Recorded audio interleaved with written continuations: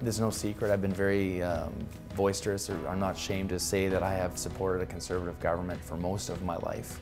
Um, partially because I was unaware of really what was going on. I was in the military for 20 years, and a good portion of that time, uh, the Liberal government was in power. And um, I believed that the Conservative government was more resource friendly to the military um, at the time. So naturally, that was important to me, and that was something that, that I supported. Um, as it turns out, when I really started to look, instead of being digesting what I was being fed, you know, both both governments have been both friendly, resource friendly, and and uh, somewhat um, stingy, if you, for lack of a better word, on, on resourcing the military. And no one government's ultimately been more or less um, supportive. It's it's been cyclic over the years.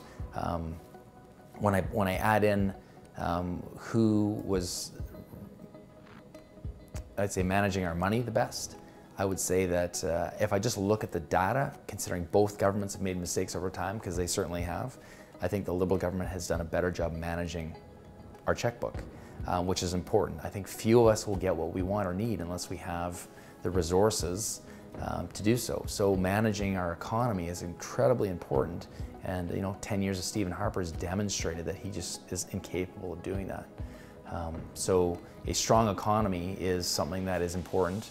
Um, I add in the fact that I hadn't really put social issues into my um, into my thought process when I uh, was voting. Not that they're not important, but I just it wasn't something that I, that I put a lot of weight on. I was more focused on a strong economy and, and my um, perception on who could deliver that. But when I realized it wasn't the conservatives that could do that, and then I started adding in or thinking about social issues, you know, how we look after ourselves, how we look after people who need help, how we look after people who can't help themselves. Um, certainly, uh, the Liberal government is, is, a lot more focused on that than the Conservatives have been in the past. Uh, I'd actually been a Liberal my whole life, I just didn't realize it.